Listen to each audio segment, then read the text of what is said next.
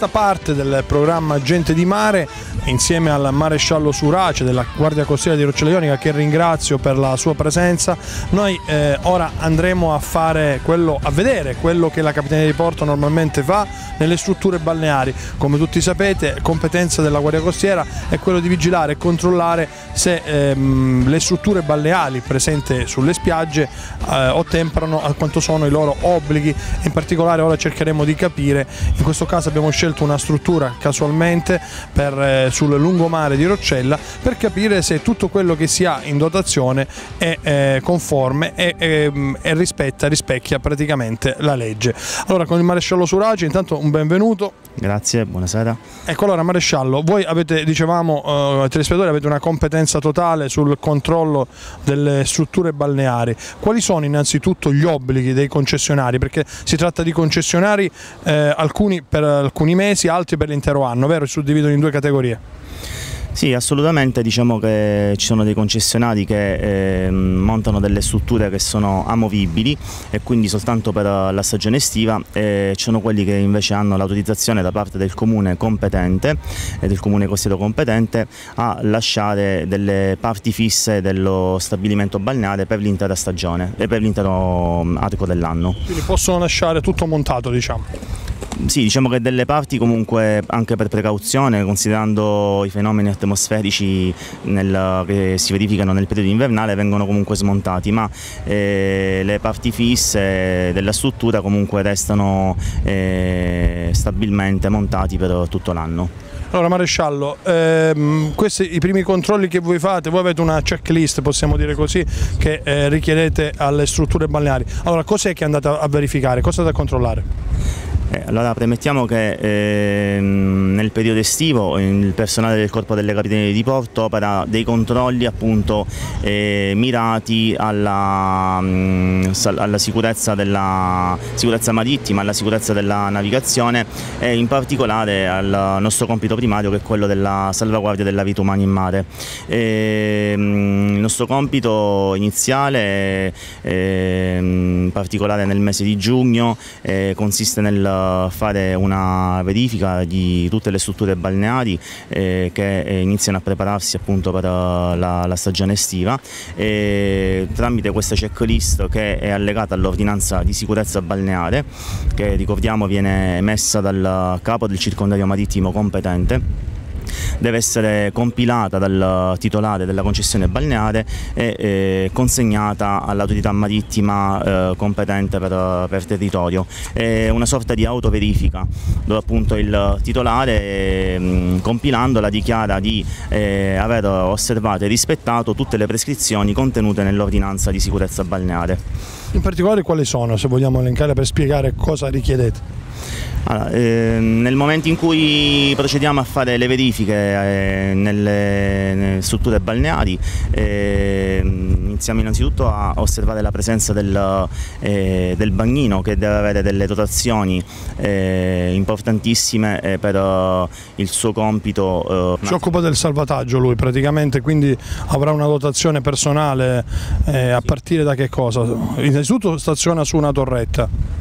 Sì, assolutamente, di massima dovrebbe stazionare sulla torretta che deve essere eh, collocata al centro della struttura balneare in maniera tale da consentirgli un'ottima eh, visibilità eh, per, uh, nello specchio acqua diciamo, eh, che si trova di fronte alla, alla struttura balneare. Um, deve essere facilmente distinguibile eh, fra tutti i bagnanti, deve obbligatoriamente indossare una maglietta di colore rosso con la scritta salvataggio di colore bianco bianco deve avere delle dotazioni eh, nell'immediata disponibilità quali il fischietto, il binocolo, le pinne, eh, la maschera eh, e anche deve avere nelle, nelle, nelle, vicinanze un pattino da utilizzare eh, per uh, intervenire a prestare soccorso al bagnante in difficoltà. Quindi il famoso pattino che noi vediamo in spiaggia è obbligatorio? Sì, il pattino, e deve recare anche la scritta salvataggio. Anche il, il, pattino deve recare la scritta salvataggio e anche esso deve avere delle dotazioni, ad esempio scalmiere, remi, eh, mezzo marinaio, ancorotto eh, tutte ripetiamo delle dotazioni che sono comunque riportate nell'ordinanza di sicurezza balneare e che sono fondamentali nel caso si dovesse verificare una situazione di emergenza, insomma di pericolo per un bagnante. E, fra l'altro non di meno importanza eh, all'interno della struttura balneare è previsto proprio un locale adibito a primo soccorso nell'eventualità dovesse esserci un bagnante che mm, magari sta poco bene o, o un bagnante che ha avuto un principio di annegamento deve essere eh, trasportato in questo locale eh, dove ci sono delle dotazioni di sicurezza eh, che... Diciamo che ci dovrebbe essere una cassetta medica anche no? dove eh, si trova tutto quel materiale che normalmente in caso di infortunio eh, si interviene no? Sì, deve esserci una cassetta medica avente all'interno dei medicinali, eh, così come previsto dal decreto del Ministero della Salute. Eh, devono esserci anche ehm, tre bombole di ossigeno da un litro eh, caricate a 150 atmosfere o due bombole di ossigeno da 2 litri caricate a 200 atmosfere, ehm, con altre dotazioni di, eh, di, soccorso da utilizzare in caso di soccorso che magari vedremo nel, nel corso della dell'ispezione che adesso faremo all'interno dello stabilimento. Perfetto, andrò, allora andiamo insieme al maresciallo Surace a, a vedere questa ispezione all'interno del Lido, siamo a Rocciola Ionica, al Lido Le Stelle. Ok, allora, iniziamo, iniziamo a entrare all'interno dello stabilimento e obbligatoriamente devono avere delle tabelle che eh, riportano ai, ai loro clienti eh, andando più, più, avanti devono essere delle tabelle che indicano i numeri, di, eh, numeri di utili. Eh. Ecco, innanzitutto abbiamo uh, una tabella che non è obbligatoria ma forse sì sulla bandiera blu che indica tutte le informazioni sulla balneabilità dell'acqua. Poi, ecco. Esatto, questa è una, una, tabella che comunque viene richiesta dal comune, in questo caso di Roccella Ionica, che ehm, diciamo, a, loro volta, a loro volta con l'ordinanza balneare, balneare. Eh, va a disciplinare degli altri aspetti che sono di competenza appunto appunto del comune. Invece, Invece c'è un'altra tabella. Esatto, questa che vediamo è appunto l'ordinanza balneare, la numero 8 2017, eh, emessa in data 6 giugno 2017 che deve essere obbligatoriamente esposta da tutti gli stabilimenti balneari. Eh, Cosa contiene questa ordinanza? Tutte le regole? Di... Tutte, assolutamente, tutte le regole che eh, gli stabilimenti balneari devono osservare, ma non solo, disciplina anche eh, delle materie di natura eh, ludico mm, eh, sportive, mm, va a disciplinare anche eh, la... Io noto alla fine, scusa Maresciallo, il decalogo del bagnante, cioè ci sono dei punti, dei 10 punti che debbono essere osservati. Esatto, sì, come stavo dicendo eh, dà anche delle, delle informazioni eh, al bagnante sulle norme da osservare e anche delle, delle, informazioni che è opportuno sapere eh, per una propria eh, cautela ehm, nel rispetto insomma, della, eh, della, della, convivenza all'interno della spiaggia privata dello stabilimento balneare.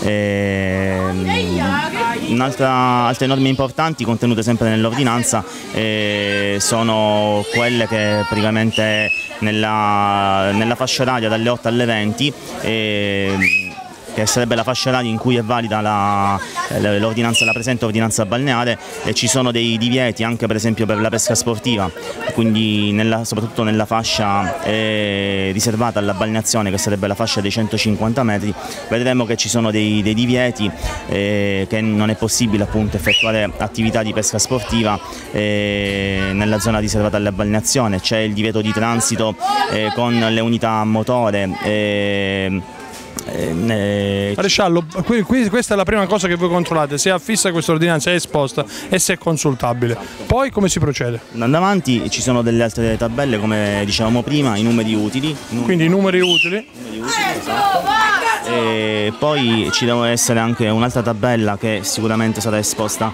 nei pressi della postazione balneare, un'altra tabella riportante il significato delle tre bandiere che eh, l'assistente bagnante eh, può issare a seconda delle situazioni in cui ci, ci troviamo. Le bandiere le vediamo appunto anche esposte sull'ordinanza, che sono la bandiera eh, le vediamo adesso nell'ordinanza e poi le vediamo giù, sono la bandiera bianca, la bandiera gialla e la bandiera rossa.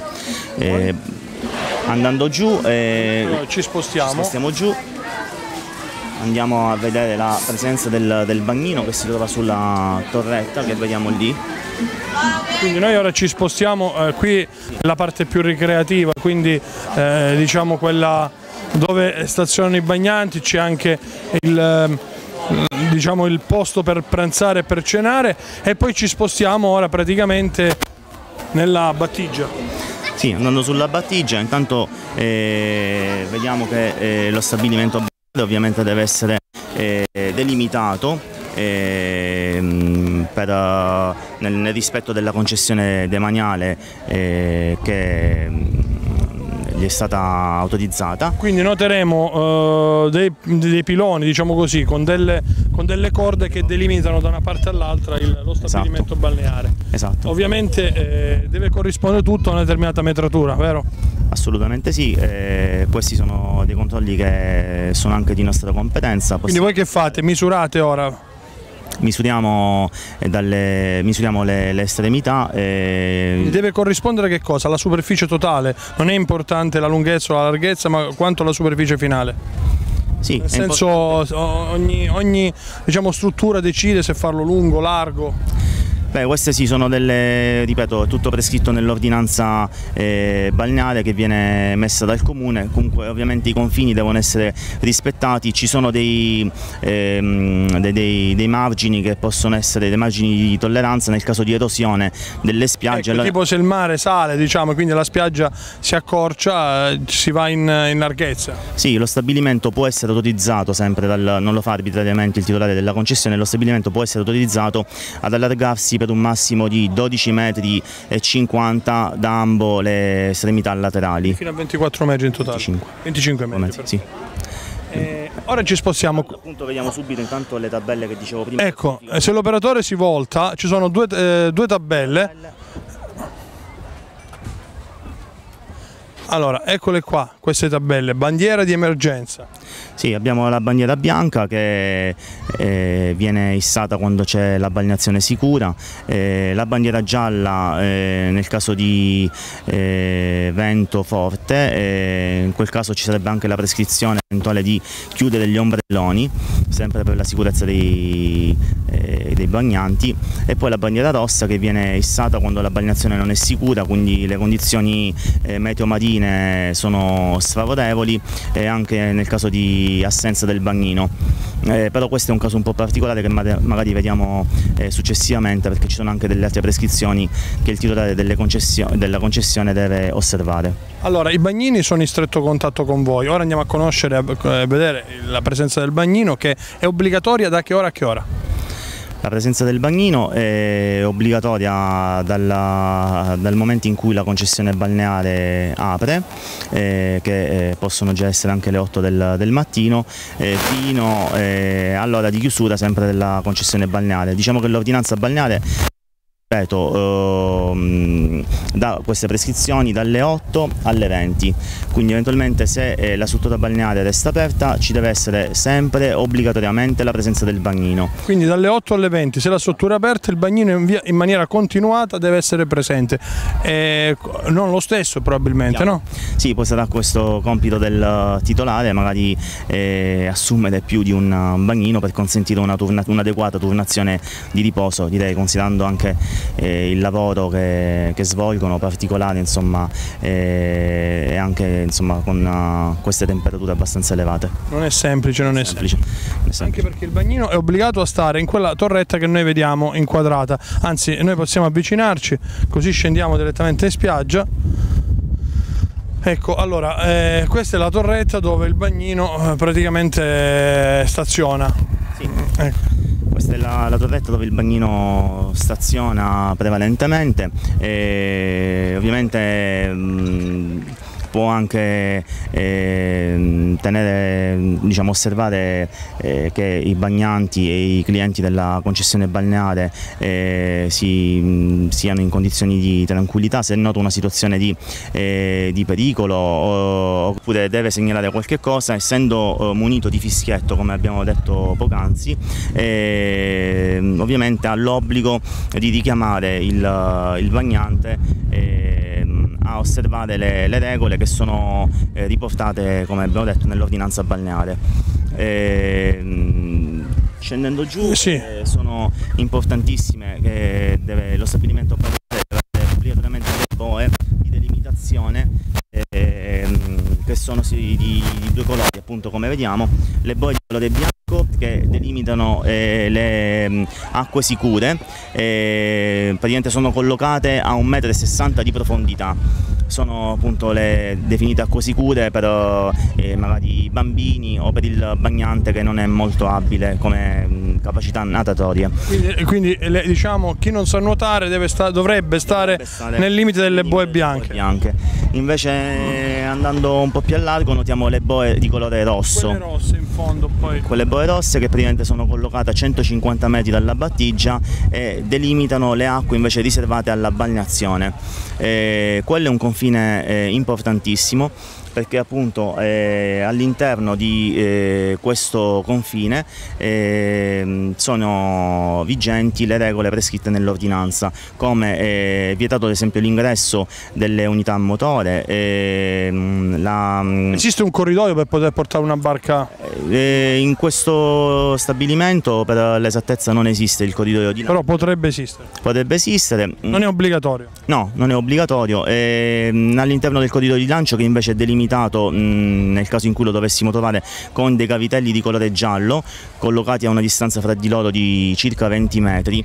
Eh, lo stesso deve avere invece un'ampiezza di 10 metri circa e consentire il transito eh, delle unità a motore ovviamente a lentissimo moto eh, senza arrecare pericoli eh, all'incolumità dei bagnanti presenti. Eh, Invece, eh, come dicevamo, all'interno dei 150 metri è vietata anche la, la pesca, ogni, ogni, forma di attività di pesca, e, mh, mm, anche il, il, sub, il pescatore subacqueo per esempio, eh, che entra in, in, acqua per fare attività di pesca deve eh, assolutamente avere il fucile scarico finché non supera la fascia eh, riservata alla balneazione. Eh, I cavitelli di colore bianco eh, come vediamo sono collocati invece a una distanza di 5 metri l'uno dall'altro, quelli di colore rosso eh, a una distanza di 50 metri l'uno dall'altro. Ovviamente qualunque imbarcazione deve osservare queste regole per evitare di nuocere a, ai bagnanti. Sì, sì, assolutamente. Eh, il bagnante deve, essere, eh, deve, avere la tranquillità di effettuare la, la balneazione. Eh, le unità remi invece possono, o i pattini, gli olet, sì, possono giungere fino a riva.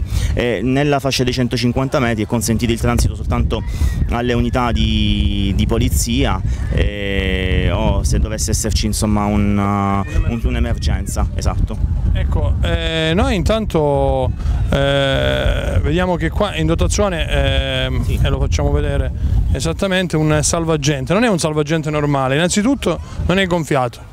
No. Mm, ecco. eh, questa è una, una ciambella che mm, conforme... Siamoci verso.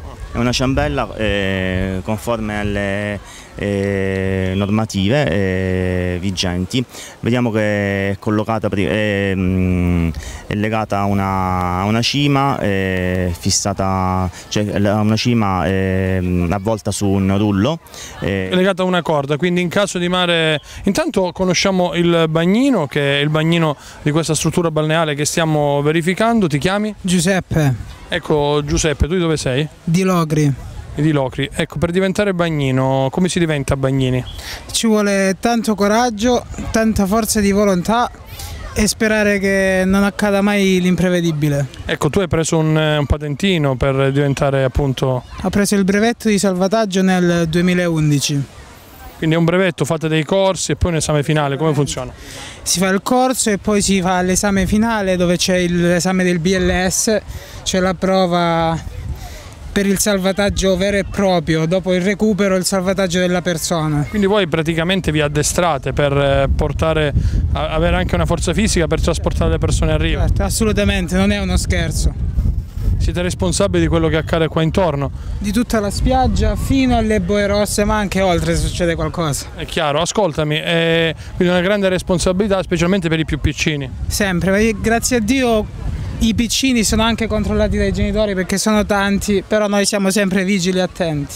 Ecco, eh, un buon bagnino non deve mai distogliere gli occhi dalla spiaggia, vero? Mai, assolutamente, perché da un momento all'altro può accadere di tutto. Ecco, tu fai dei turni ovviamente, o riesci sì. a coprire tutta la giornata? No, faccio dei turni, la mattina c'è il mio collega, il pomeriggio ci sono io. Anche per rimanere lucidi, come diceva il maresciallo? Assolutamente, perché dopo tante ore è difficile stare sempre con lo sguardo attento. Sotto il sole senza potersi neanche fare il bagno. Eh, infatti, è dura. È dura. E ascolta Giuseppe, eh, ti volevo chiedere questo, eh, salvataggio sempre pronto il pattino? Salvataggio sempre vicino alla riva, in caso di necessità deve essere sempre pronto, armato con eh, il salvagente. Ecco, e invece il fischietto a cosa serve? Il fischietto serve in caso di pericolo per avvertire i bagnanti. Quindi che cosa potrebbe capitare? Un'onda anomala? o- Anomala, meduse, qualsiasi cosa. Ecco, ascolta, e invece eh, ora dicevamo fra poco eh, dovevi stare la bandiera gialla, perché la bandiera gialla? La bandiera gialla per il forte vento. La bandiera gialla è in, Quindi è occasione... un pericolo il vento. Il vento è un pericolo perché è un pericolo per i bagnanti, è un pericolo anche per eh, i signori che sono all'ombrellone. Eh, ascolta, eh, invece quando è che si issa la bandiera rossa? La bandiera rossa si issa quando le condizioni del mare non permettono ai bagnanti di poter fare il bagno in piena sicurezza. Quindi anche quando per un qualsiasi eh, episodio il bagnino si assente. Anche se io mi assento a 10 minuti, 5 minuti metto la bandiera rossa per segnalare la mia assenza. Ascolta, è, è una spiaggia tranquilla, un mare tranquillo, eh, possiamo dire che i bagnanti sono abbastanza educati? Sì, i bagnanti sono educati, sono tutte persone per bene, ci lasciano fare il nostro lavoro in maniera perfetta. Ecco, voi sconsigliate l'utilizzo di gonfiabili quando c'è questo vento? Quando c'è il forte vento i gonfiabili sono molto sconsigliati perché trascinano le persone con loro, quindi. Quindi è un pericolo. Eh, invece eh, quando ci sono situazioni di mare agitato ovviamente sconsigliate proprio il bagno. Con il mare agitato il, ma- il bagno è sconsigliato. Quindi ai cavalloni bisogna starci attenti. I cavalloni li dobbiamo evitare. Evitare. Sentimi, e poi poi ti lasciamo. Eh, naturalmente tu vigili eh, nel tuo orario che tutto vada per il meglio. Eh, possiamo dire anche eh, cosa è vietato, cosa impedisci fare? Per esempio, giocare a pallone è possibile? Giocare a pallone non è possibile, in spiaggia non è possibile, non è possibile la presenza dei cani, qua a Rocella abbiamo una spiaggia apposita per i cani e per i signori che vogliono portare il proprio animale. Benissimo, allora ti auguriamo buon lavoro eh, eh, con la speranza che insomma, i tuoi interventi siano pochi. Poco nulli. o nulli. Grazie ancora. Maresciallo, allora abbiamo ascoltato il giovane bagnino di... Ecco, allora ha spiegato anche quali sono i suoi principali compiti. Sì, sì, assolutamente, ha spiegato bene. Uno dei suoi compiti è anche quello di vigilare che la fascia dei 5 metri, come vediamo, dall'ultima fila degli ombrelloni sia eh, lasciata libera, ai 5 metri dalla Ecco, quindi questa fascia, 5 metri, è obbligatoria. Assolutamente sì, eh, anche questa è una delle prescrizioni dell'ordinanza, è, è obbligatoria perché eh, serve per favorire la sicura balneazione e anche per eh, favorire le eventuali operazioni di soccorso, quindi l'ingresso e l'uscita dall'acqua dei bagnanti ma anche per le operazioni di soccorso, quindi recupero bagnante in, eh, in difficoltà. Quindi questo passeggio, diciamo, tra virgolette, deve essere garantito. Sì, sì, assolutamente sì, deve essere garanti- garantito.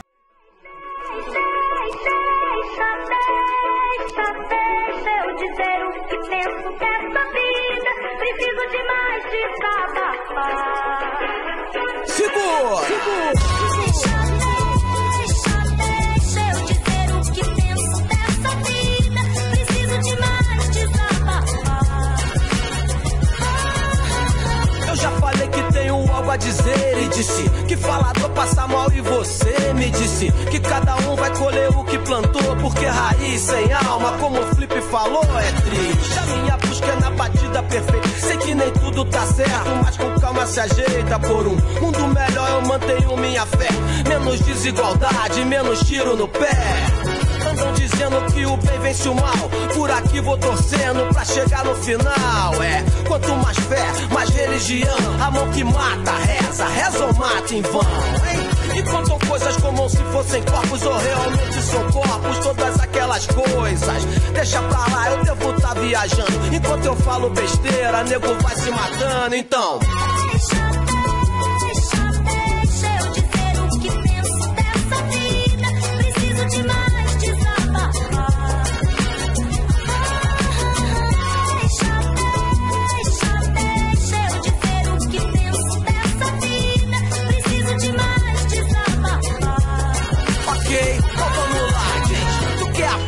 Eu quero também. Mas o Estado não tem direito de matar ninguém aqui não tem. Pena de morte, mas segue o pensamento. O desejo de matar de um capitão nascimento que, sem treinamento, se mostra incompetente. O cidadão, por outro lado, se diz impotente, mas a impotência não é uma escolha. Também. Surace, abbiamo concluso questa ispezione. Possiamo dire che qui com'è andata? È andata abbastanza bene, fortunatamente lo stabilimento balneare rispetta tutto quanto prescritto dall'ordinanza balneare. A volte purtroppo invece ci troviamo in situazioni in cui dopo aver effettuato, cioè nel, nel momento in cui effettuiamo l'accertamento riscontriamo eh, delle inosservanze da parte del titolare dello stabilimento balneare, a volte inosservanze anche eh, gravi se così possiamo definirle. Eh, una che mh, si verifica fre- frequentemente è l'assenza del bagnino eh, che magari viene anche utilizzato per effettuare altre attività. Questo non va bene. Assolutamente no, non va bene, il bagnino deve essere eh, l'occhio della, della Capitaneria di Porto, deve essere sempre vigile e osservare che, che venga garantita la sicurezza della balneazione. Nel momento in cui notiamo, mh, ci riscontriamo ehm, delle anomalie nello stabilimento balneare, eh, purtroppo siamo costretti ad effettuare la contestazione amministrativa. Che tipo di sanzioni sono previste, per esempio, per l'assenza del bagnino? La sanzione prevista ai sensi del- dell'ordinanza balneare e anche del codice della navigazione va da un minimo di 1032 euro a un massimo di 3098 euro. Così poi come previsto dalla legge 689 dell'81 il eh, titolare della concessione demaniale marittima ha facoltà di eh, proporre eh, ricorso al capo del compartimento marittimo che nel nostro caso è la Capitaneria di Porto di Reggio Calabria. Eh, questo ricorso può essere fatto entro eh, 30 giorni dalla contestazione, mentre entro 60 giorni può effettuare il pagamento ridotto della sanzione amministrativa. Ecco, allora noi ringraziamo naturalmente il maresciallo Surace perché ci ha consentito di ispezionare anche virtualmente, televisivamente l'abbiamo fatto, una struttura balneare e cari telespettatori avete capito quello che è importante che in ogni eh, struttura ci sia, principalmente per la salvaguardia de- della sicurezza in mare dei, di chi ne usufruisce, quindi dei bagnanti. E poi naturalmente anche perché gli obblighi eh, consentono di stare nel pieno rispetto delle regole, cosa fondamentale per poter continuare ad operare anche come concessionari e insomma è importante anche questo. Noi vi ringraziamo, ovviamente specifichiamo che gli obblighi per le bandiere blu sono aggravati, vero maresciallo? Assolutamente sì, ehm, nella fattispecie ehm, la, la- la Capitaneria di Porto eh, nel momento in cui eh, rileva delle infrazioni interessa l'ente comunale e per le prescrizioni anche da parte dell'ente comunale si può arrivare anche alla temporanea chiusura dello stabilimento balneare eh, fino al ripristino delle condizioni necessarie.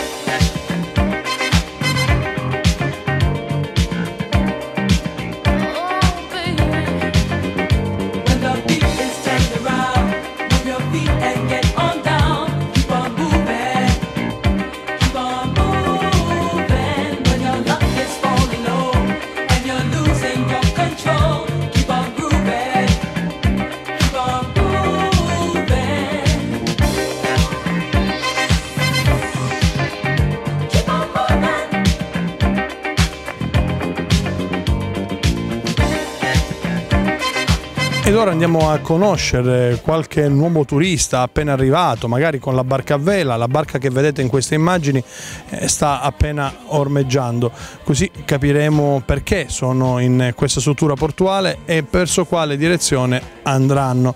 Naturalmente lo sapete tutti, eh, Roccella Ionica per la Grecia è una tappa obbligata per chi vuole accorciare le distanze e non proseguire sulla costa fino a Crotone.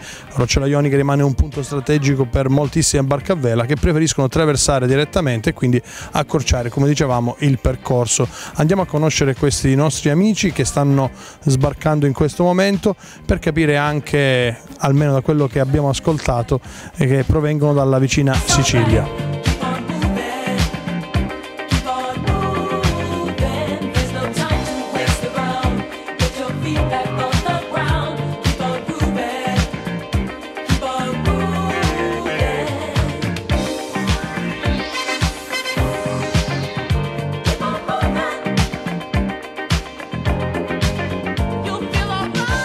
Ecco, la signora dice un bel marina. Signora, che cosa le piace di questo mare? Marionio, che lo prova anche in Sicilia. particolare io non è il nostro mare, questo proprio io non, non- non lo conosco bene questo del- di questa zona perché noi siamo catanesi, abbiamo il mare Ionio e poi conosciamo bene quello della Grecia. quindi- Però qui mi ricordo che abbiamo fatto il bagno nella spiaggetta che era pure carina. Eh, Bandiera blu, anche bandiera blu. Come po- eh? Anche bandiera blu degli approdi, quindi anche per gli approdi, quindi il- Ehm, senta, eh, vabbè, voi siciliani quindi siete, voglio dire, conoscitori di questo mare. Che, che cosa colpisce venendo da mare? Perché poi immagino abbiate una passione, no? Quella del mare, altrimenti è difficile che si facciano questi giri. No, ecco, che cosa colpisce di questa terra, di, questo- di questa fetta di Locride venendo da, da- da su, diciamo dal mare?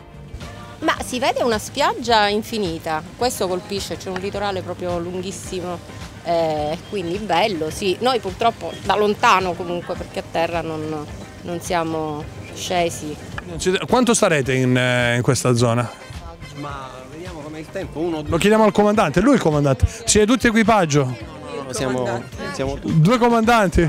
Vice comandante. No, e vediamo com'è il tempo. eh, uno, gio- un giorno, due massimo. Insomma. Un giorno sicuramente lo trascorrete. Perché siamo già in eh, avanzata stagione, quindi il tempo comincerà un pochino. Purtroppo Rimarrete al porto, vi sposterete. sono, sono cominciate adesso, quindi Ah, quindi sono appena cominciate. Senta, ma rimarrete al porto o vi sposterete nella- eh, dentro terra? interno. No, eh, pensiamo di restare in zona perché se possiamo fare la traversata la facciamo subito, sin da domani. Quindi vediamo un po' com'è il meteo. Ancora siamo appena arrivati e quindi non, non abbiamo. Invece cosa mi dice della gastronomia calabrese? Lei c'è stato qua, che cosa, che cosa ha provato? E beh, abbiamo provato tutti. Noi mangiamo piccante, quindi. La Corte d'Assise conosce?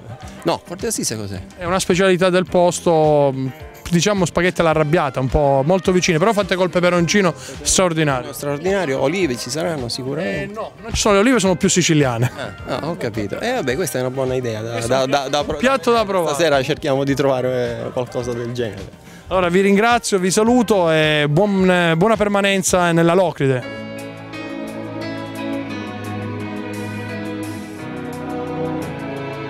A noi che siamo gente di pianura, navigatori esperti di città, il mare ci fa sempre un po' paura, per quell'idea di troppa libertà. Eppure abbiamo il sale nei capelli, del mare abbiamo le profondità, e donne freddolite negli scialli, che aspettano che cosa non si sa. gente di mare che se ne va?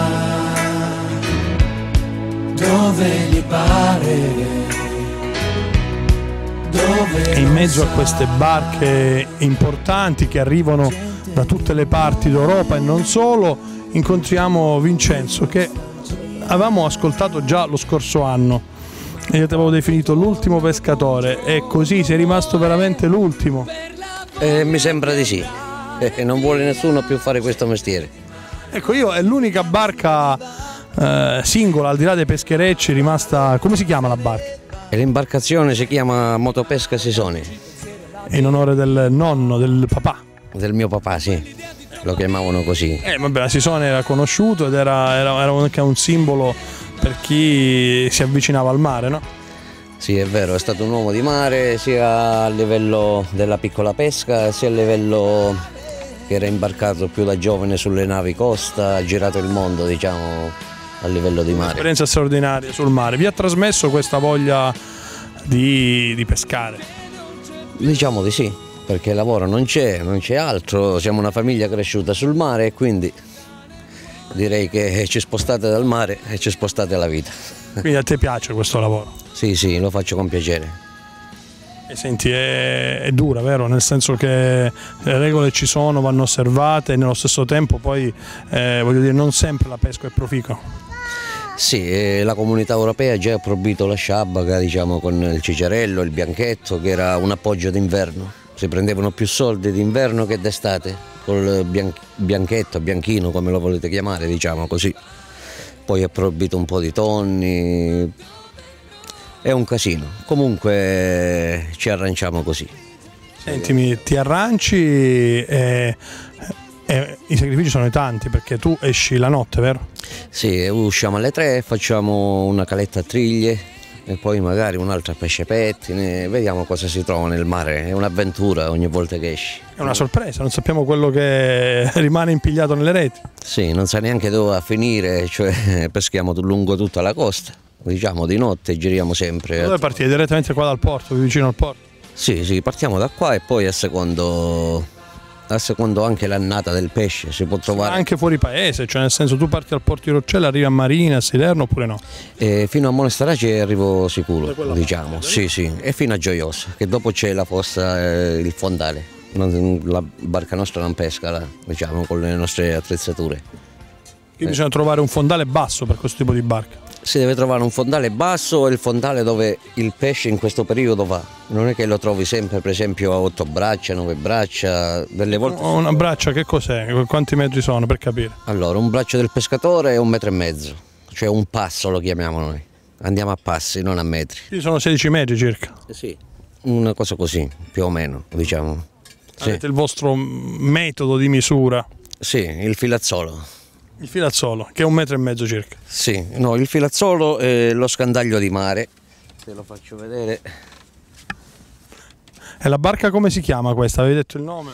Eh, la barca si chiama come mio papà, Sisone. Sisone, quindi a bordo Sisone. Ecco, questo qui che cos'è? Questo è una rete incastellata per le triglie, questo è il filazzolo, lo chiamiamo noi, dove misuriamo il fondale a passi così. Uno, due, capito? In base a questo noi ci regoliamo la profondità. Quindi questo va a fondo. Questo va a fondo e misuriamo la profondità. O la corrente del mare pure.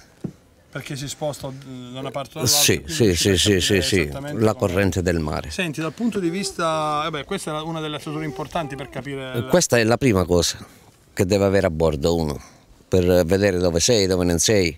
Adesso ci sono le Diciamo che coscandaglie. con gli strumenti di ecos- questo sostituisce l'ecoscandaglio, mostriamolo, ecco.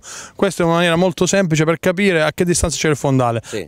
Quindi il pescaggio, come si dice, no? Adesso ci sono tutte le coscandaglie, cose, ma io non mi trovo, mi trovo solo con questo, un metodo antico. Un metodo antichissimo. sì, questo è un metodo antico Quindi questo che non deve insegnato. marcare nessuna barca. No, questo lo butto a mare, questo va a fondo e misuri tutta la profondità dove vuoi andare. Delle volte che vuoi, va un metro meno, un- secondo la corrente che ti butta, non è che abbiamo l'ecoscandaglio. Anche l'ecoscandaglio non è che la barca la cammina. Trovi pure la profondità, ma io mi trovo con questo. E il secondo strumento invece che ci deve essere a bordo qual è? Viaggiate di notte, quindi. Eh, lo strumento io ho solo le luci. Quindi queste luci qua. Sì, ho le luci di posizione, verde e rosso e il bianco centrale a 360 gradi. Senti, ma eh, questa non è pure una, c'è la lampara che si accende? No. No, no. Posso andare anche con la lampara, però dov'è l'equipaggio per andare? Cioè la lampara vi agevola, la luce vi agevola, avvicina il pesce. Sì, sì, però non, non è un tipo di pesca che io faccio, perché non, non trovi l'equipaggio adatto. Perché non- tu ci fai da solo. Sì, io purtroppo vado da solo perché non c'è nessuno che fa questo mestiere. Quindi non c'è resa, andare in più persone, bisogna dividere poi quello che si, che si pesca, no? No, ma non è questo il fatto che invece di stare a pescare due ore, diciamo, peschi quattro. Eh, però non, non c'è nessuno che si avvicina più a questo mestiere. Quindi non hai trovato persone che vogliono venire con te. Non c'è proprio nessuno. Quindi esci solo con tuo rischio e pericolo, perché un minimo di rischio c'è uscire in barca da solo, no? Sì, diciamo che c'è anche la Guardia Costiera che adesso comunichi l'uscita e l'entrata del porto, che è una sicurezza, che sai se sei a mare o... cioè è una sicurezza per noi altri pescatori. Senti, e, quindi esci da solo, che fai? Getti le reti e continui a camminare con un sacco finale, hanno le reti, hanno un sacco, no? No, eh, li butti in posta così, diritti e, ma- e poi cambi cala, a secondo la corrente. Cos'è la cala? Sì. Cioè la cala la chiamiamo Che ti devo dire? Cioè, fuori lanterna è già una cala per noi, fuori la trazza che riace un'altra cala, diciamo. Ah, le zone sono? Sono le zone che hanno pure un soprannome antico, diciamo, per noi. Quindi anche, anche le zone del mare hanno dal punto di vista un nomignolo. Sì, Barruca, diciamo, il Trubolo, che ti devo dire? Sono delle zone antichissime che ci siamo tramandati dove fanno le cale o facevano le cale del pesce. Se ogni tanto incontri qualche tuo collega pescatore, come si chiama il tipo di barca? Il tipo? Il tipo di barca è una barca da pesca, una motopesca, Il diciamo. dialetto come si chiama? Varchiceio. Barchiceio o scia- sciabacheio, no. No, sciabacheio è un altro attrezzo da pesca, che Quindi- è proibito proprio. Quindi Varchiceio. Sì, o varca. E questo è fatto tutto in legno, vero? L'hanno costruito a mano. Questa è costruita, è stata costruita a Scilla. Questa qua, nel cantiere di Scilla. Infatti se tu vedi la prua è a motonave, esce da Scilla. E poi da qui che succede? Cioè nel senso la manutenzione, dovete farlo tutto voi? Manutenzione noi la portiamo su a novembre, secondo quando rompono i tempi diciamo, e poi riprendiamo a gennaio il tempo delle seppie e facciamo tutto il pitturaggio, manutenzione sotto, l'alaggio diciamo. La portiamo su Quindi dovete farlo ogni anno, ci sono anche questi costi di manutenzione. Dove dovete portarla? Al cantiere a... al cantiere qui vicino al porto. Lo fanno, c'è la nautica qua. Ah, qui a Roccello. Sì, sì, sì, sta funzionando bene. C'è un cantiere che sta... Siete contenti anche del servizio? Sì, sì, sì.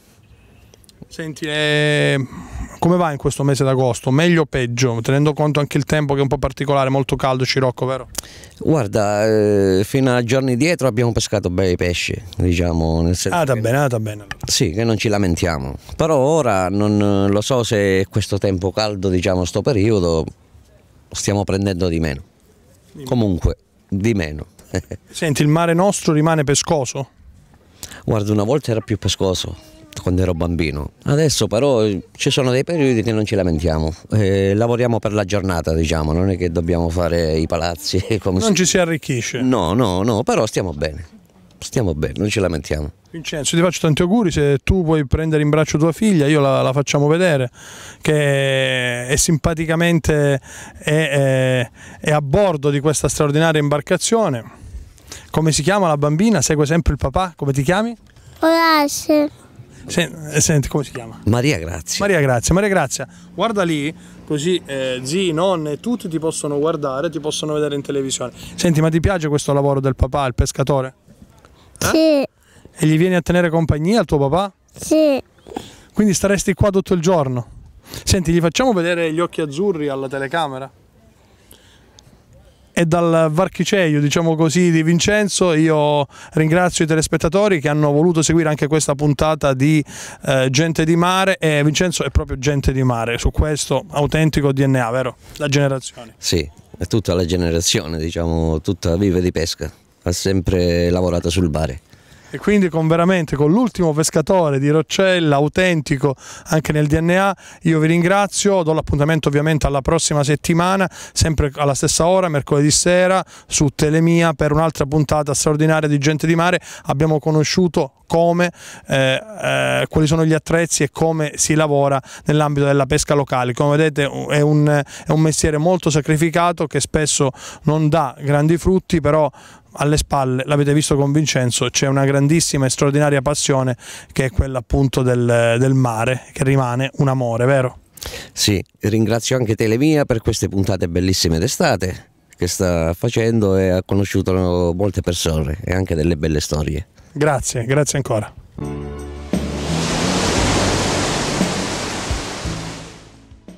Abbiamo seguito la scorsa puntata i corsi di vela, una vera e propria passione che è stata anche sviluppata per i più piccini, lo ricorderete, giovanissimi, 6, 7, 8, 9 anni che imparano ad andare in barca a vela, tutto in una settimana, quindi una passione che viene alimentata.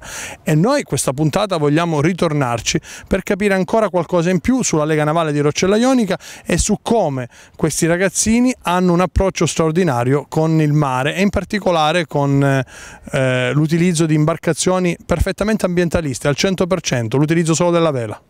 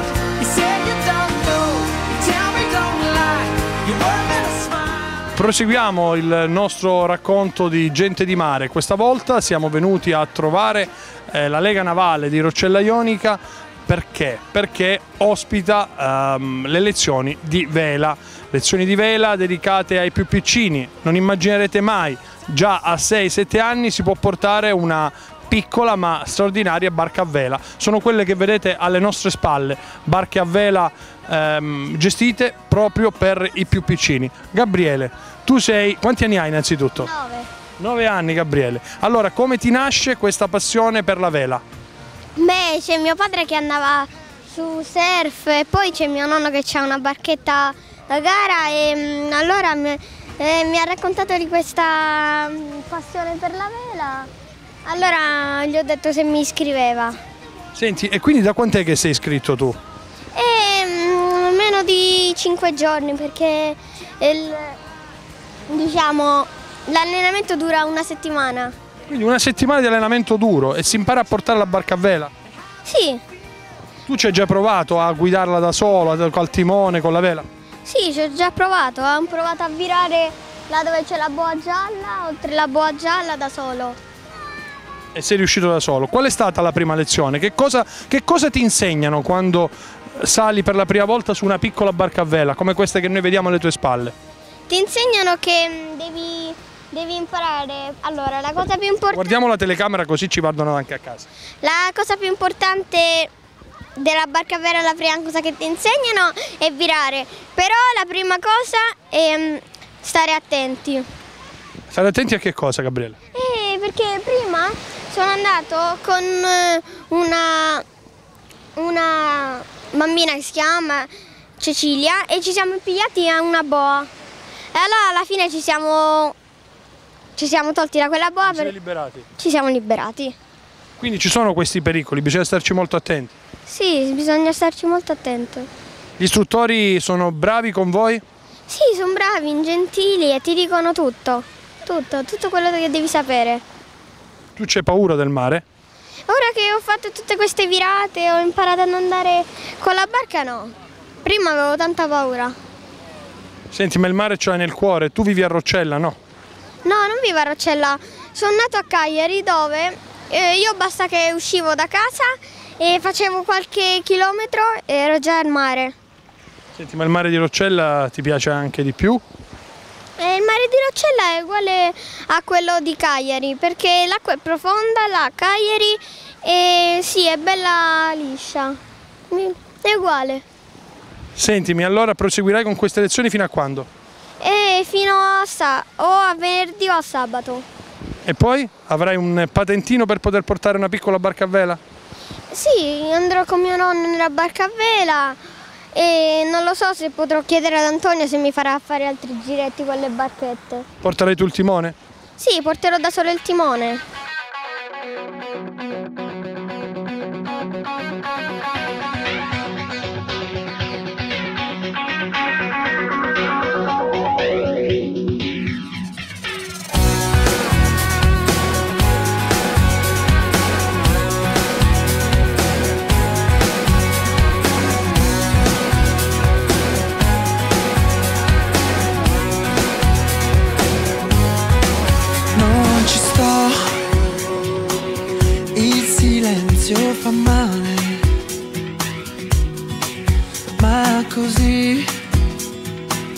Non c'è niente da fare. Credi che con me non ci dormi, che puoi solo restare lontana da me. e vai via in un giorno di Enzo Cappelleri che è il vicepresidente, ora parliamo con qualcuno un po' più grande prima di parlare con i nostri eh, straordinari istruttori. Un'idea bella, travolgente, quella di coinvolgere i bambini, eh, perché sono bambini a 6 anni, 7 anni, ehm, a coinvolgerli e a travolgerli da questo amore per il mare. Quindi lezioni di vela. È una cosa meravigliosa vedere questi bambini che eh, vengono, magari si avvicinano un po' così timorosi, poi, poi una volta che iniziano non vogliono più mollare ed è bello vederli che dopo due giorni già di corso eh, li puoi vedere in acqua. eh, Ovviamente non sono dei velisti esperti a questo punto, però hanno imparato già le prime cose, riescono ad andare a beccare il vento nel modo giusto e si divertono moltissimo. Ecco, eh, cosa si impara in realtà eh, su una piccola barca a vela di questo tipo? Beh, intanto è sempre è la conoscenza del mare, diciamo, con, questa, con una barca a vela così è l'inizio. La barchetta, come puoi vedere, è molto piccola, c'è una sola vela, però ha una vela che ha tutti gli elementi delle grosse barche a vela, incominciando da, da- oltre allo scafo, l'albero, il boma, la randa, eh, ovviamente qui non hanno il fiocco, ma poi imparano a lavorare con le cime, con la deriva, col timone, con tutto quello. Sono i primi passi, ovviamente. Ci sarà molta strada da fare ancora, ma è bellissimo. Ecco, la scelta di coinvolgere i piccini, perché? Ma perché purtroppo, no purtroppo, dovremmo iniziare dai bambini e purtroppo come tu sai da noi eh, esiste soltanto il calcio e questo è un peccato perché noi abbiamo un bene immenso che è il mare e non sappiamo sfruttarlo, invece tu passi in una in un posto qualunque dove c'è un porto, dove c'è una struttura, dove c'è il mare, non vedi altro che vele in acqua. Qui a Rocella purtroppo questo non esiste, speriamo che... sta cominciando ad esistere. Sta, eh, appunto, sta incominciando ad esistere, speriamo che ogni anno, infatti quest'anno che grazie a Dio abbiamo questa bella struttura della Lega Navale, abbiamo visto che i corsi sono molto intensi, passano i genitori, i bambini si entusiasmano e vengono volentieri. Abbiamo iniziato i primi di luglio, però ogni settimana dobbiamo fermare le iscrizioni perché sono già in tanti quelli che vorrebbero e purtroppo l'istruttore ne può seguire 6 per settimana, non può farne 20. Questi corsi durano una settimana. Una settimana, poi ovviamente se vogliono possono continuare. Noi speriamo che eh, quello che constatiamo è che la maggior parte dei ragazzi sono ragazzi che vengono in vacanza a Roccella, però dobbiamo dire che quest'anno eh, i roccellesi o i figli dei roccellesi che sono fuori eh, vengono e noi cerchiamo di curarci particolarmente questi ragazzi eh, che ormai hanno 10-11 anni e sono di Roccella, sperando che un domani prendono loro la Lega e faranno loro sia gli istruttori che eh, avvieranno i vari corsi, diciamo.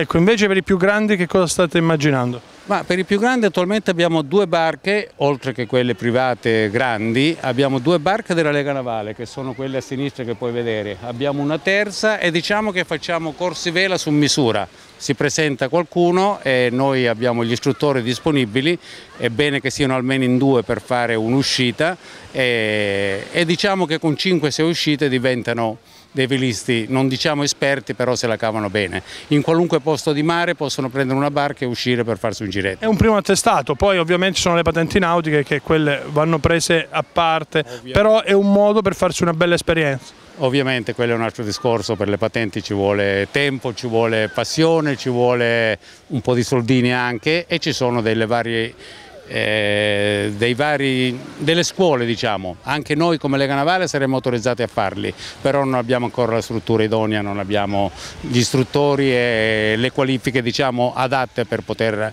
dare patenti, eh, patenti nautiche. Ecco Enzo, volendo lasciare un recapito della Lega Navale in modo che chi vuole vi, vi contatti anche per informazioni, per chi volesse iscrivere, per chi ci sta seguendo in questo momento.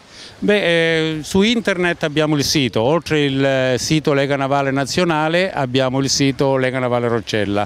Comunque la Lega Navale Roccella è sul lungomare, lato nord Roccella Ionica ed è in... È aperto tutti i giorni la sede? Diciamo che è aperto tutti i giorni, eh, se i soci disponibili vengono ad aprire. Io mh, ce la sto mettendo tutta, abbiamo parecchi soci che si danno da fare e comunque possiamo lasciare qualche recapito telefonico, tipo il mio o qualcun altro, per, eh, perché ci contattino, sia per i corsi vela che per tutte le informazioni possibili.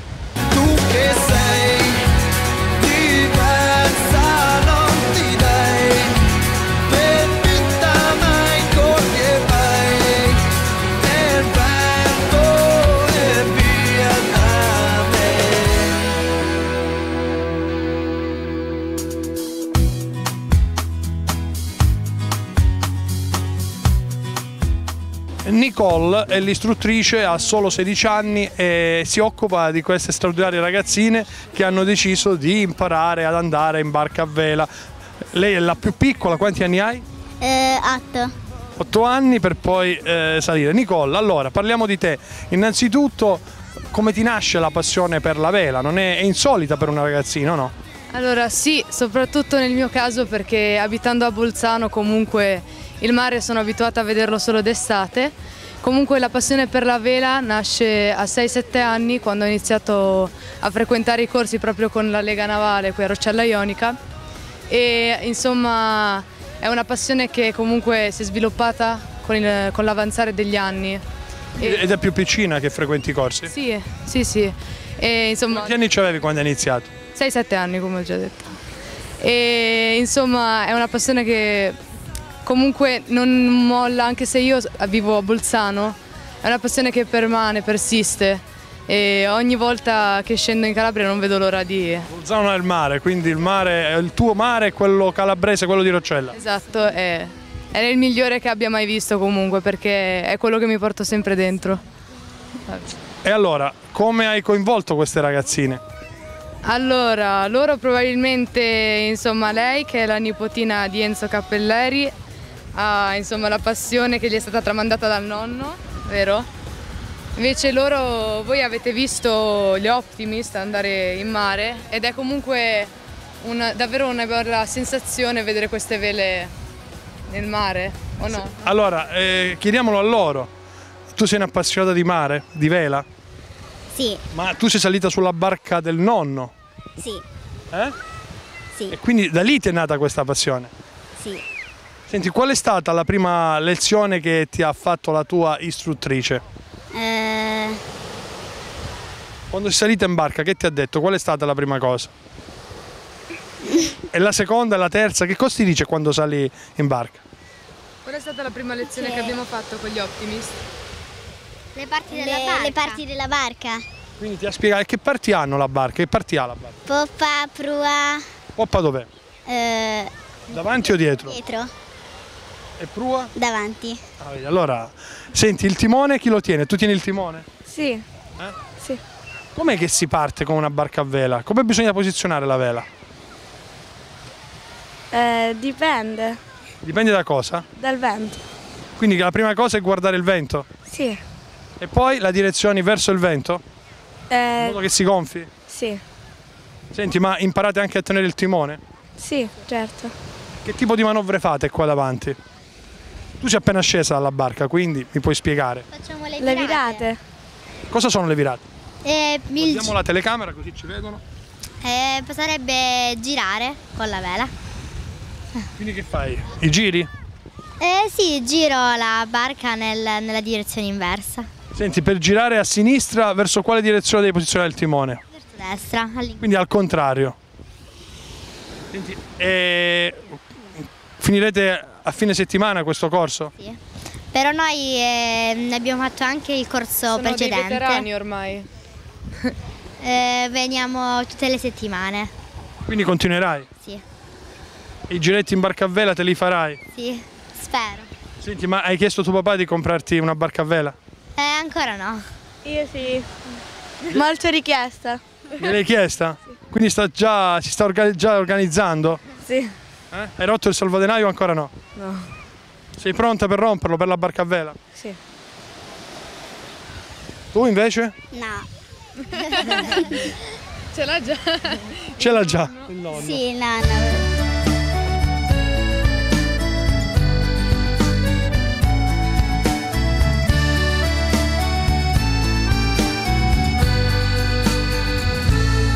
Porque no supiste entender lo que había en él, porque no tuviste el valor de ver quién soy.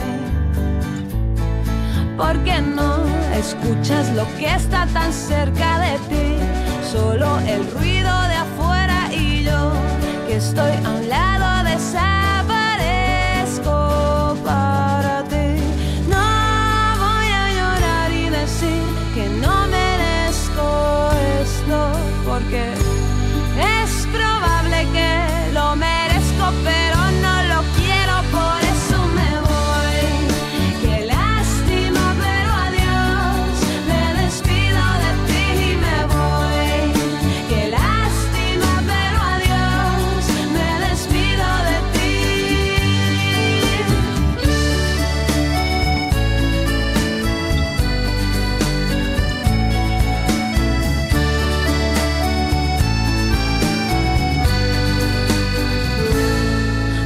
porque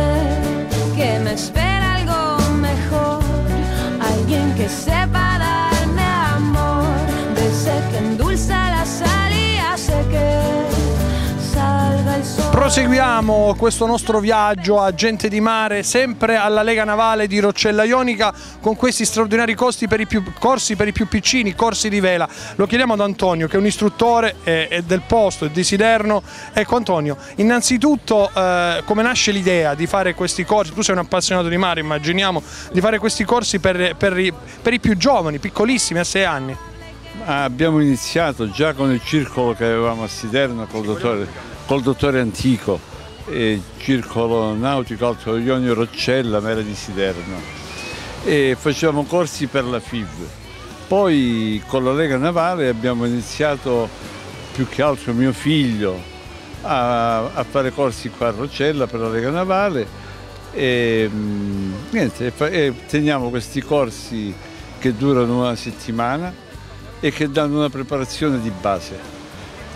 Quello lo facciamo per avvicinare il più possibile i ragazzi al mare e soprattutto per togliere, questo lo dico io, il più possibile gente ai motori, far diminuire il numero dei motori. Meno rischi forse con la vela.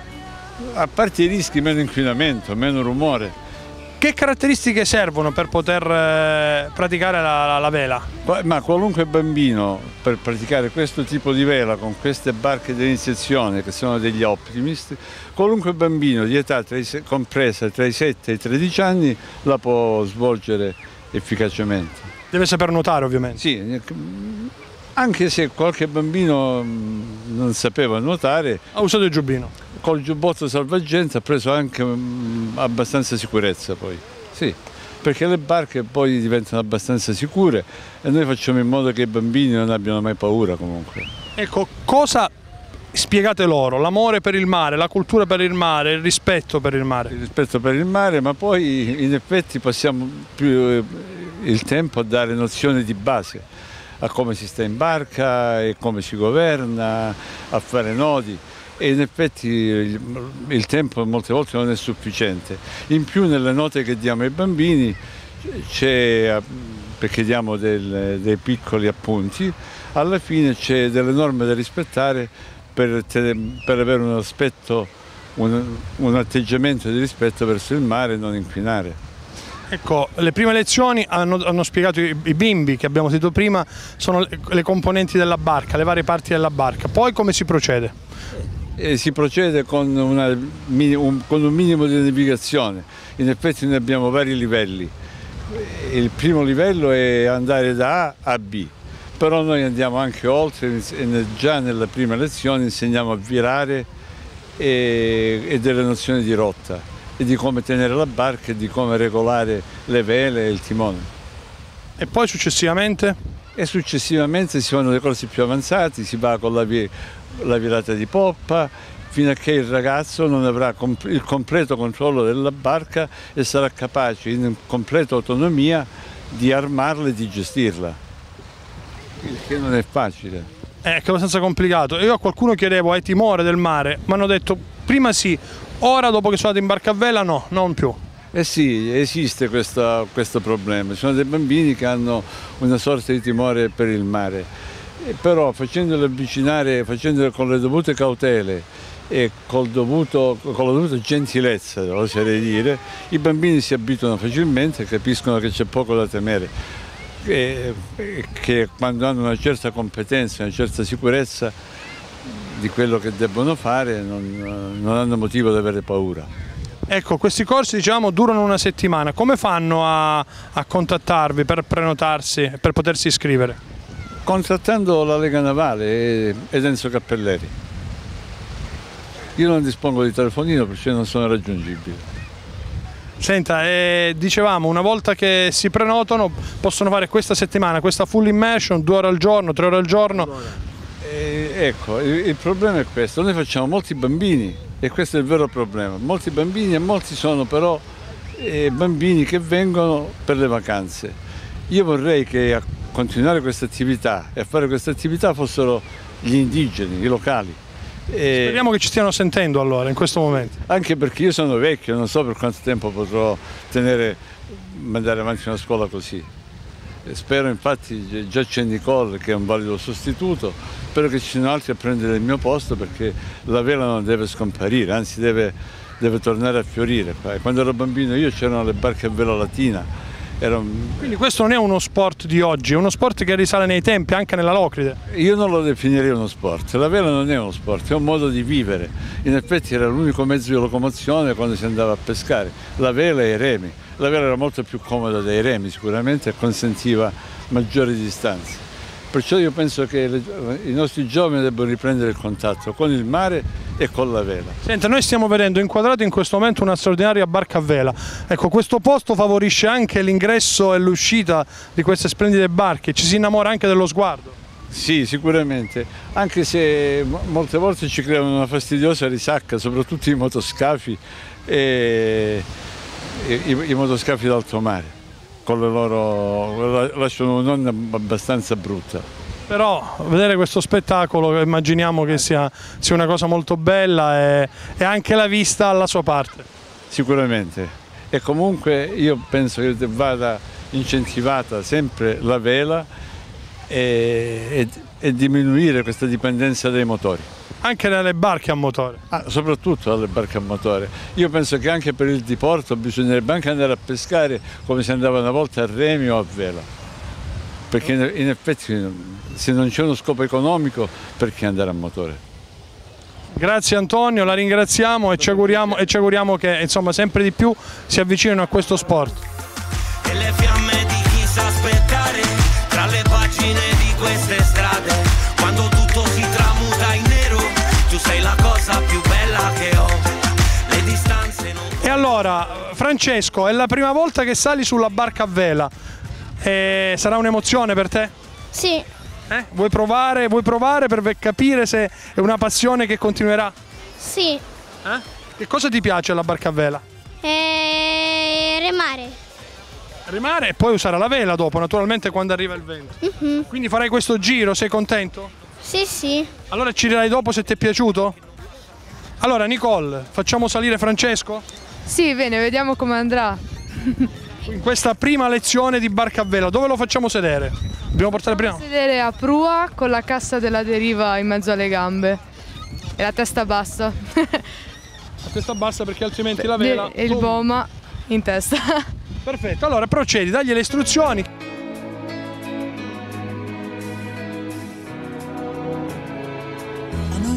si porta la barchetta a- in mare. Navigatori esperti di città. Il mare ci fa sempre un po' paura. Eh, come vedete sono delle barchette molto leggere, quindi c'è la possibilità di, eh, di trasportarle tranquillamente. Francesco per questa prima volta farà il giro in barca. e donne freddolite negli scialli che aspettano che cosa non si sa. gente di mare che se ne va dove gli pare, dove non sa. Gente che muore di nostalgia. Ma quando torna dopo un giorno muore per la voglia di andare via. Quando ci fermiamo sulla riva, gente che va, guarda l'orizzonte se ne va. gente di mare, portandoci pensieri alla deriva. Per quell'idea di troppa libertà. Gente di mare che se ne va.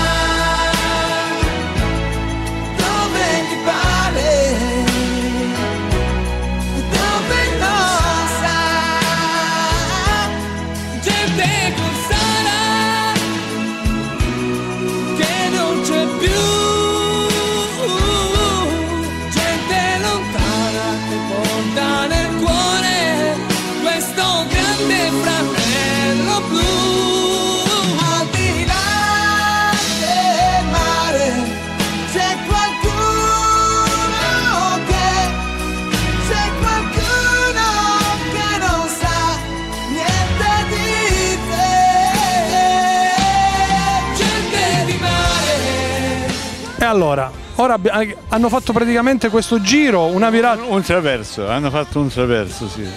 Ecco, ha girato di colpo la vela, questo perché? Per- Ha virato di prua. E quello, è quello che insegniamo ai bambini. Qualunque bambino, orza, orza, orza, vira ancora. Ecco, ora sta virando, vedi? Cambia posto e dalle, e dalle mura dritta. ovvero Quindi oltre al tenere il timone deve tirare la vela. Sì, ma questa è una cosa che i bambini imparano nei primi giorni. Di solito al secondo o terzo giorno imparano la virata. Quindi eh, eh, eh, si posiziona la vela in base al vento e si utilizza lo stesso vento per tornare indietro. Eh sì, in questo caso sì, perché sta facendo un traverso, altrimenti potrebbe, potrebbe avere altre andature che sarebbe troppo lungo spiegare. Vedi, ora ha virato, torna con la stessa andatura, perché il vento è un traverso, ovvero 90 gradi. Quindi si deve spostare anche di posizione sulla barca. Per Eh poter... sì, deve spostare il peso. Mm. E sembra strano, a fare questa danza le, le più brave sono le bambine. I, i- Più brave le femminucce sì, i, i maschi impiegano un po' di tempo, specialmente Sara, queste ragazzine che fanno danza, sono favorite in questi movimenti. Sono molto agili. Molto agili e sanno cambiare, vedi che cambia mano, la mano che tiene il timone, poi tiene la scotta, vedi? E questo, è questo movimento che complica molto la vita ai maschietti. E invece le femminucce che fanno danza o ginnastica artistica si trovano favorite. Quindi anche un'attività fisica vera e propria. Sicuramente sì. E poi dal senso dell'equilibrio, del rapporto col vento e col mare. Sicuramente è secondo me è una cosa che andrebbe eh, dalle nostre parti fatta a livello scolastico. Ecco, noi ci auguriamo che tanta gente possa vedere queste immagini. Si avvicini. Ecco, si avvicini a questo sp- ah, tu dici non è uno sport, è un modo di vita, ma anche a questo modo di vita, a questo sport è un'attività fisica, è, è un modo anche di vivere e rispettare. An- Anche, anche preso dal punto di vista sportivo e di tutto rispetto. C'è l'aspetto agonistico e comunque è abbastanza importante. E certo, e poi oltretutto si impara a, a rispettare il mare anche dal punto di vista ambientale, perché la vela, lo ricordiamo, è un eh, modo pulito, tra virgolette, Pulito, certo. di, di spostarsi senza inquinamento e senza nulla.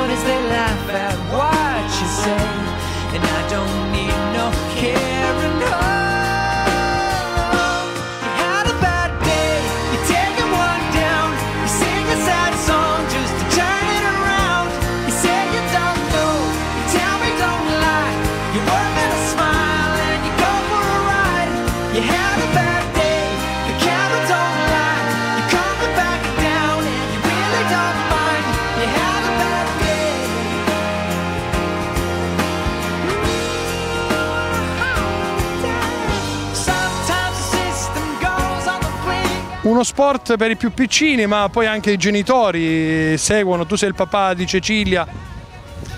È uno sport fantastico che io ho avuto modo di apprezzare e spero che possa- questo entusiasmo possa essere trasmesso ai figli. Questo è il motivo per cui siamo venuti qui quest'anno. Quindi tu sei un appassionato di vela.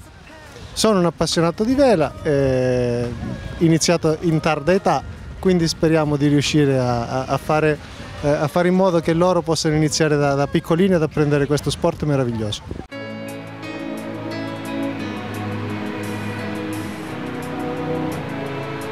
Noi qui siamo gente di pianura, navigatori esperti di città. Il mare ci fa sempre un po' paura, per quell'idea di troppa libertà. Eppure abbiamo il sale nei capelli, del mare abbiamo le profondità. E donne freddolite negli scialli. Che aspettano che cosa non si sa. Gente di mare che se ne va. Dove gli pare, dove non sa.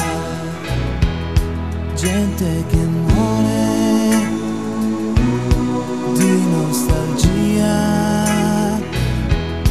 Ma quando torna dopo un giorno muore per la voglia di andare via.